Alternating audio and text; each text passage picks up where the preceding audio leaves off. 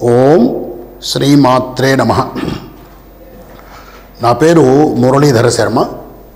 నేను హైదరాబాద్ ఉప్పాలగూడ మణికొండ ప్రాంతంలో ఉన్నటువంటి గోల్డెన్ టెంపుల్ వద్ద నివాసం ఉంటుంటాను. మనం ఈరోజు ఈ వీడియోలో ఈ నవంబర్ నెలకు సంబంధించిన రాశి ఫలాలు తెలుసుకునే ప్రయత్నం చేద్దాం. ఈ నవంబర్ నెల మనకు ఇంకొక విశేషం కూడా ఉంది. కరెక్ట్గా ఇదే నవంబర్ నెలలో మనకు అత్యంత ముఖ్యమైనటువంటి మాసము కార్తీక మాసం కూడా ప్రవేశిస్తుంది. కాబట్టి ముందుగా మనము కార్తీక మాసం యొక్క విశిష్టత కాస్త ఒక రెండు మూడు నిమిషాలు ముచ్చటించుకొని ఆ తర్వాత మనము రాశి ఫలాలు తెలుసుకునే ప్రయత్నం చేద్దాం. ఎందుకు ముందుగా మనం కార్తీక మాసం గురించి తెలుసుకోవాలని అంటే రాశి ఫలాలు తెలుసుకునే ప్రతి ఒక్కరికి కూడా ఏదో గ్రహ దోషం ఉందని లేదా చిన్న చిన్న ఆర్థిక సమస్యలు ఉన్నాయి బాధలు ఉన్నాయని వీటికి పరిష్కారాల కోసం మనము అన్వేషిస్తూ ఉంటాం. ఇటువంటి వాటికి పరిష్కారం చేసుకోవడానికి అత్యంత ఉత్తమమైనటువంటి మాసము కార్తీక మాసం. అందువల్ల ముందుగా మనం కాస్త కార్తీక మాసం గురించి తెలుసుకున్నట్టయితే గ్రహ ఫలాల్లో రా రాశి ఫలాల్లోకి మనం ముందుకు వెళ్ళి రాశి ఫలాలు తెలుసుకున్నప్పుడు ఏదైనా మనకి సమస్యలు ఉంటే ఈ కార్తీక మాసం యొక్క విశిష్టత ద్వారా మనం ఏం చేయాలో తెలుసుకుంటాం కాబట్టి అలాంటి పరిష్కారాలు చేసుకొని మనము కాస్త మన జీవనాన్ని సుఖమయం చేసుకోవచ్చు. కాబట్టి ముందుగా నేను కార్తీక మాసం యొక్క విశేషం ఏమిటి? ఈ కార్తీక మాసంలో చేసేటువంటి దీక్షలు నోములు పూజలు ఎలా ఉంటాయి? అనేటువంటివి ముందుగా చెప్పే ప్రయత్నం చేస్తాను కార్తీక మాసం అనేటువంటిది తెలుగు సంవత్సరంలో ఎనిమిదవ నెల. అంటే చైత్రం వైశాఖం ఇలా చెప్పుకుంటాం కదా. ఈ చైత్రం వైశాఖం జ్యేష్టం ఇలాంటి వాటిల్లో కార్తీకము ఎనిమిదవ నెల. ఈ కార్తీకం ఎనిమిదవ నెలలో కార్తీక శుద్ధ పౌర్ణమి నాడు కృత్తికా నక్షత్రంలో చంద్రుడు ఉంటాడు. అందువల్ల మనం దీన్ని కార్తీక మాసము అంటాం. చంద్రుడు ఈ నెలలో కృత్తికా నక్షత్రంలో ఉంటాడు. మరొక విశేషం ఏమంటే ఈ కృత్తికా నక్షత్రంలో ఉండడం వల్ల తమిళనాడు ప్రాంతం వాళ్ళకు కూడా ఈ కార్తీక మాసం అనేటువంటిది చాలా ఉత్తమమైన మాసంగా వాళ్ళు దీన్ని చేసుకుంటారు. ఈ కార్తీక మాసంలో శివుడు విష్ణువు ఇద్దరికి మనకు శివాయ విష్ణు రూపాయ శివరూపాయ విష్ణవే అన్నటువంటి ఆ వాక్యము కార్తీక మాసంలో స్పష్టంగా మనకు అర్థమవుతుంది. ఎందుకంటే కార్తీక మాసంలో శివుడికి ఎంతగా పూజ చేస్తామో విష్ణువు కూడా అంతే గొప్పగా పూజ చేస్తాం అసలు కార్తీక మాసం ప్రారంభం అవడమే ఆశ్వీజ బహుళ అమావాస్య మనము దీపావళి అమావాస్య అంటాము. అది అయిన వెంటనే కార్తీకం మనకు ప్రారంభం అవుతుంది అమ్మవారి కార్యక్రమాలు ఆశ్వీజ మాసంలో చేసుకున్నాము. లక్ష్మీదేవి పూజ చేసుకున్నాము. కార్తీక మాసంలో ఆశ్వీజ బహుళ అమావాస్య నాడు వెంటనే కార్తీక మాసం ప్రారంభమవుతుంది. ఈ కార్తీక మాసంలో ఇందాక నేను చెప్పినట్టు శివుడికి విష్ణువుకు ఇద్దరికి కూడా పవిత్రమైనటువంటిది. స్కంద పురాణం మనం పరిశీలించినట్టయితే ఒక అద్భుతమైనటువంటి శ్లోకం ఉంది. నా కార్తీక సమో మాసౌ నా కృతేన సమం యుగం నా వేద సదృశం శాస్త్రం నా తీర్థం గంగయా సమం అని. అంటే కార్తీక మాసాన్ని మించినటువంటి మాసమే లేదు అని చెప్పి మనకు స్కంద పురాణం చెప్తోంది. అలాగే కృతయుగమంతి గొప్ప యుగము వేదాన్ని మించినటువంటి శాస్త్రము గంగా నదిని మించినటువంటి నది లేవు అని చెప్పి మనకు శాస్త్రం స్కంద పురాణం చెప్తుంది. కాబట్టి కార్తీకము చాలా ఉత్తమమైనటువంటి మాసం. మరి ఈ కార్తీక మాసంలో ఏం చేయాలి?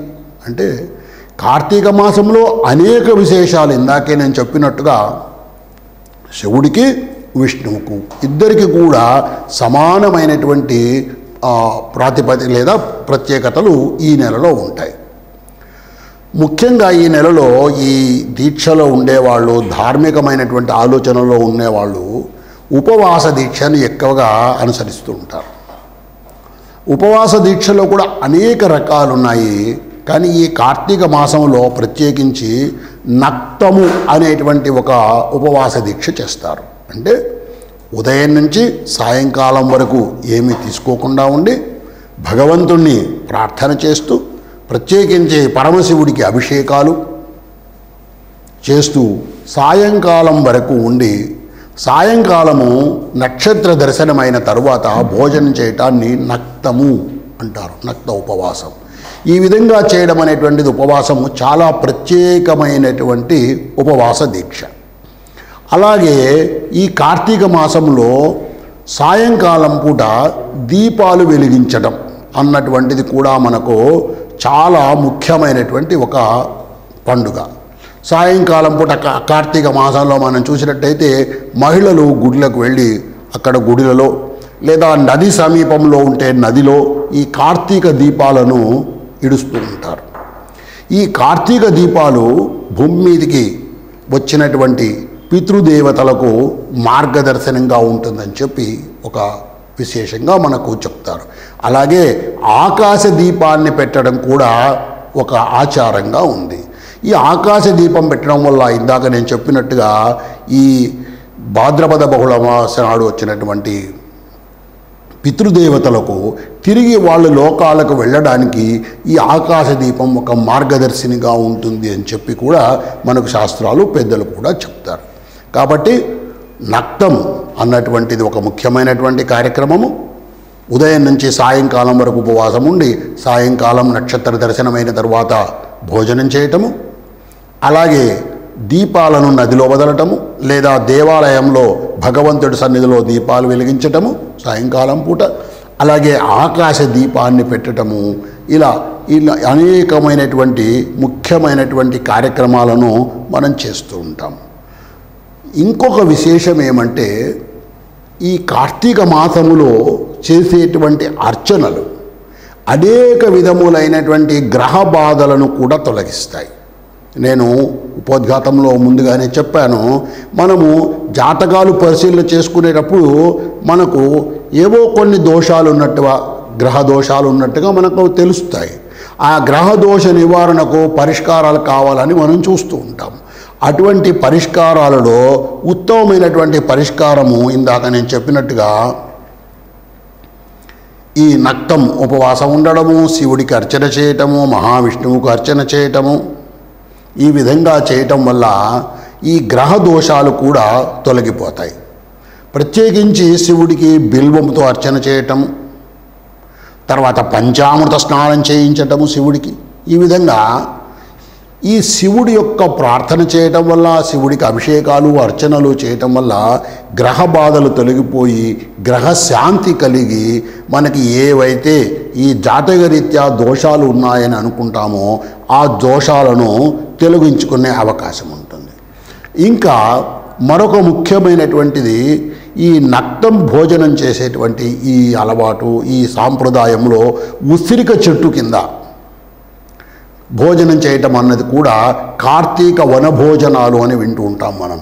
ఈ కార్తీక వనభోజనాలు ఉసిరిక చెట్టు కింద చేయటం అనేటువంటిది. ఉసిరిక చెట్టు శ్రీ మహావిష్ణువుకు ప్రతిరూపంగా మనం భావించి లక్ష్మికి ప్రతిరూపంగా భావించి అక్కడ ఆ ఉసిరిక చెట్టు కింద భోజనాలు చేస్తూ ఉంటాం. అలాగే ఉసిరిక కాయలు దానం చేయటము. ఈ ఉసిరిక కాయల మీద దీపాలు పెట్టి వెలిగించడము ఇలా అనేక విధములైనటువంటి కార్యక్రమాలు విష్ణువుకు సంబంధించినవి కూడా చేస్తూ ఉంటారు. కాబట్టి ఎవరైనా సరే గ్రహ బాధలు ఉన్నాయి లేదా గ్రహచారం బాగాలేదు ఈ గ్రహ ఈ సమస్యలు ఉన్నాయి అని అనుకున్నప్పుడు ఈ కార్తీక మాసం నెల రోజులు కూడా తగిన విధమైనటువంటి దీక్షలు చేయడం వల్ల తప్పకుండా ఈ గ్రహ బాధల నుంచి తొలగిపోయి మనము సంసుఖ సంతోషాలతో ఉండొచ్చు. మనము ఇప్పుడు కార్తీక మాసం యొక్క విశేషం ఏమిటి కార్తీక మాసంలో అభిషేకాలు పూజలు అర్చనలు ఎలాంటివి చేసుకోవచ్చు? అనే కొన్ని విషయాలు తెలుసుకున్నాం. ఇందాక అభిషేకం చేయటము నక్త ఉపవాసం ఉండటము లేదా నెల రోజులు ఉపవాసం ఉండటము బిల్వంతో పూజలు చేయటము స్వామివారికి మల్లెలతో పూజ చేయటము ఇలా అనేక విధములైనటువంటి పూజలు చేయవచ్చు అని చెప్పి. ఇప్పుడు మనము ఒక్కొక్క రాశి వారికి ఎలాంటి ఫలితాలు ఈ నవంబర్ నెలలో అంటే కార్తీక మాసంలో కార్తీక మాసము నవంబర్ నెల రెండు ఒకేసారి ప్రారంభం అవుతున్నాయి కాబట్టి మనం ఆశ్వీజంలో కూడా చూసాము అక్టోబరు ఆశ్వీజం రెండు ఒకేసారి వచ్చాయి ఈ నవంబరు కార్తీకం కూడా ఒకేసారి వస్తున్నాయి కాబట్టి ఈ నవంబర్ నెలలో రాశి ఫలాలు ఎలా ఉంటాయో మనం ఇప్పుడు తెలుసుకునే ప్రయత్నం చేద్దాం. ఇప్పుడు మనము మేషరాశి గురించినటువంటి సమాచారం తెలుసుకుందాము. అంటే మేషరాశిలో జన్మించినటువంటి ఒక వ్యక్తి యొక్క గ్రహస్థితిని ఈ నవంబర్ నెలలో మనం పరిశీలించినట్టయితే ఎలా ఉంది? వాళ్ళకు ఫలితాలు ఎలా ఉంటాయి అనేది తెలుసుకునే ప్రయత్నం చేద్దాం. ముందుగా గ్రహస్థితి చెప్తాను. మేషము లగ్నం అదే రాశి కూడా మేషరాశి. అంటే మేషరాశిలో చంద్రుడు ఉన్నాడు. మేషలగ్నము మేషరాశి. తర్వాత వృషభం లగ్నానికి రెండవ ఇంట వృషభంలో గురువు ఉన్నాడు. గురువు వక్రస్థితిలో ఉన్నాడు. నాలుగవ ఇంట కర్కాటకంలో పాపగ్రహము కుజుడు ఉన్నాడు. ఆరవ ఇంట శత్రురోగ రుణస్థానము మేషలగ్నము మేషలగ్నానికి ఆరవ ఇల్లు కన్యారాశి. ఈ కన్యారాశిలో పాపగ్రహమైనటువంటి కేతు ఉన్నాడు. తులలో అంటే లగ్నానికి ఏడవ ఇంట రాశికి ఏడవ ఇంట సూర్యుడు పాపగ్రహము తులలో ఉన్నాడు. అలాగే అష్టమ స్థానములో వృశ్చికములో బుధుడు తొమ్మిదవ ఇంట ధనుస్సులో శుక్రుడు పదకొండవ ఇంట కుంభంలో శని పన్నెండవ ఇంట రాహువు ఉన్నాడు. ఇది గ్రహస్థితి. మరొకసారి చెప్తాను. మేషం లగ్నము మేషంలో చంద్రుడు వృషభంలో గురువు వాక్రస్థితి కర్కాటకంలో కుజుడు కన్యలో కేతువు తులలో రవి వృశ్చికంలో బుధుడు ధనుస్సులో శుక్రుడు కుంభంలో శని మీనంలో రాహువు ఉన్నారు. ఈ విధంగా ఉన్నటువంటి ఈ గ్రహస్థితి నవంబర్ మాసానికి చెందింది. అయితే ఇది స్థిరమైంది కాదు. ఎందువల్ల అంటే రవి పదిహేడో తారీఖున మారుతున్నాడు తుల నుంచి వృశ్చికానికి వస్తున్నాడు. అలాగే శుక్రుడు కూడా ఏడవ తారీఖు నవంబర్ ఏడవ తారీఖు నాడు మారుతున్నాడు. బుధుడు కూడా నవంబర్ ఇరవై ఏడవ తారీఖు నాడు గ్రహ మార్పు చెందుతున్నాడు ఈ గ్రహస్థితి ఉన్నటువంటి ఈ పరిస్థితిలో మనకు ఎవరెవరికి ఎలాంటి ఫలితాలు ఉంటాయి? తెలుసుకునే ప్రయత్నం చేద్దాం. ముందుగా సాధారణంగా ధనానికి ఆరోగ్యానికి సంబంధించిన విషయం. ధనకారకుడైనటువంటి గురువు రెండవ ఇంట లగ్నానికి అంటే రెండవ ఇంట ధనస్థానంలో ఉన్నాడు. ఈ ధనస్థానమైనటువంటి వృషభ రాశి శత్రుక్షేత్రము. ఈ శత్రుక్షేత్రంలో వక్రస్థితిలో గురువు ఉన్నాడు. శుభగ్రహం వక్రస్థితిలో ఉంటే ఏ స్థానంలో ఉంటారో ఆ స్థానం యొక్క ఫలితాన్ని ఇవ్వాలి. కాబట్టి ధనస్థానం యొక్క ఫలితాన్ని ఇచ్చేటువంటి గురువు శత్రుక్షేత్రములో ఉన్నందువల్ల కాస్త ఆర్థిక సమస్యలు ఉండే అవకాశం ఉంది. ఈ మేష రాశిలో జన్మించినటువంటి జాతకులకు. ఇక శనిని మనం పరిశీలించినట్టయితే లాభస్థానంలో అంటే పదకొండవ ఇంట మేషరాశికి పదకొండవ ఇంట కుంభంలో ఉన్నాడు. కుంభము శనికి స్వక్షేత్రము కాబట్టి ఇక్కడ కాస్త ఆరోగ్య విషయంలో మనకు లాభస్థానంలో స్వక్షేత్రంలో ఉన్నాడు కాబట్టి శని ప్రత్యేకంగా ఆయుష్కారకుడు కాబట్టి ఈయన. అందువల్ల ఆరోగ్య విషయంలో మనకు కొంత ఊరట కలిగే అవకాశం ఉంది. ఈ జాతకులకు ఆర్థిక సమస్యలు కొద్దిగా ఉన్నా కూడా ఆరోగ్య విషయంలో ఎక్కువగా ఆందోళన చెందవలసిన అవసరం లేదు. ఇక విద్యార్థుల గురించి మనం పరిశీలించినట్టయితే ముఖ్యంగా నాలుగవ ఇంట విద్యార్థులకు ప్రాథమిక విద్యలో ఉన్నటువంటి వాళ్ళకు నాలుగవ ఇంట కుజుడున్నాడు. అలాగే పంచమ స్థాన అధిపతి అయినటువంటి రవి శత్రుక్షేత్రమైనటువంటి తులలో ఏడవ ఇంట ఉన్నాడు. కాబట్టి ఈ ప్రాథమిక విద్య లేదా మాధ్యమిక అంటే ఇంటర్మీడియట్ చదివే ఈ ఈ స్థాయి వరకు ఉన్నటువంటి ఈ విద్యార్థులకు కాస్త ఒత్తిడి ఎక్కువగా ఉండే అవకాశం ఉంది. ఇక ఉన్నత విద్యకు సంబంధించి మనం పరిశీలించినట్టయితే ఉన్నత విద్య అంటే గ్రాడ్యుయేషన్ పోస్ట్ గ్రాడ్యుయేషన్ ఇలా చదువుతున్న వాళ్ళ గురించి మనం పరిశీలించినట్టయితే తొమ్మిదవ స్థానంలో శుక్రుడు ఉన్నాడు శుక్రుడు శుభగ్రహము. ఈ తొమ్మిదవ స్థానంలో భాగ్యస్థానంలో అక్కడ శుక్రుడు ఉండడం వల్ల ఈ ఉన్నత విద్య చదివే వాళ్ళకు కాస్త సహాయకారిగా ఉంటుంది ఊరట ఉంటుంది ఒత్తిడి తక్కువగా ఉంటుంది. ప్రత్యేకించి ఈ మ్యాథమెటిక్స్ సైన్స్ ఇలాంటివి చదివేటువంటి విద్యార్థులకు ఈ ఈ నవంబర్ మాసము శుభంగా ఉంటుందని మనం చెప్పవచ్చు. ఇక సినీ రంగంలో ఉన్న వాళ్ళ గురించి పరిశీలించినట్టయితే మూడవ స్థానము పరిశీలించినట్టయితే తృతీయ స్థాన అధిపతి అష్టమంలో ఉన్నాడు వృశ్చికంలో ఉన్నాడు. ఇది కుజక్షేత్రము కుజుడికి బుధుడు శత్రువు గ్రహము పైగా అష్టమ స్థితిలో ఉన్నాడు. ఇక్కడ కాస్త ఈ శ్రీరంగంలో ఉండే వాళ్ళకు కొద్దిగా ఈ శత్రు క్షేత్రంలో బుధుడు ఉండడం వల్ల బుధుడు సాధారణంగా సౌమ్య గ్రహము ఈ సౌమ్యగ్రహమైనటువంటి గ్రహము ఈ వృశ్చిక రాశిలో ఇక్కడ ఉన్నందువల్ల కాస్త అనానుకూలాలు ఎక్కువగానే ఉంటాయి సినీ రంగంలో ఉండే వాళ్ళకు అని చెప్పవచ్చు. ఇక మనము వ్యాపారంలో ఉండేవాళ్ళు సాధారణంగా వ్యాపారం చేసేవాళ్ళకు ఇక విద్యార్థుల పరిస్థితి ఆ విధంగా ఉంది. విద్యార్థులకు ఉన్నత విద్య చదివే వాళ్ళకు కాస్త మంచిగా ఉండే బాగా ఉండే అవకాశం ఉంది.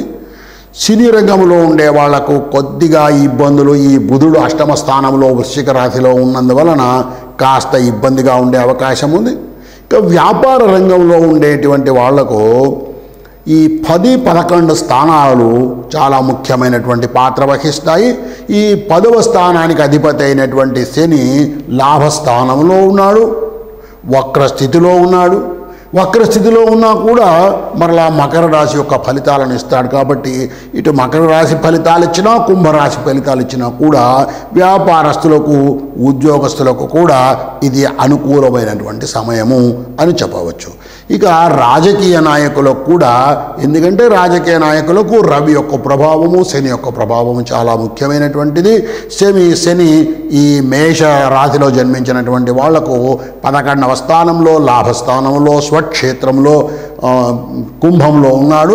కాబట్టి తప్పకుండా రాజకీయ నాయకులకు కూడా ఇది ఉత్తమమైనటువంటి సమయము మంచి అనుకూలంగా ఉండేటువంటి సమయం అని చెప్పవచ్చు. ఈ విధంగా మనం పరిశీలించినప్పుడు ఈ మేషరాశిలో జన్మించినటువంటి వాళ్ళకు దాదాపు ఈ నవంబర్ మాసములో ఎటువంటి ఎక్కువగా ఇబ్బందులు కనపడేటువంటి అవకాశం కనపడడం లేదు. కొద్దిగా సాధారణ విద్యలు అంటే ప్రాథమిక విద్యలో ఉన్నటువంటి విద్యార్థులకు మినహాయిస్తే మిగిలిన వాళ్ళకు ఎలాంటి ఇబ్బందులు లేవు అని చెప్పవచ్చు. ఓం శ్రీమాత్రే నమ.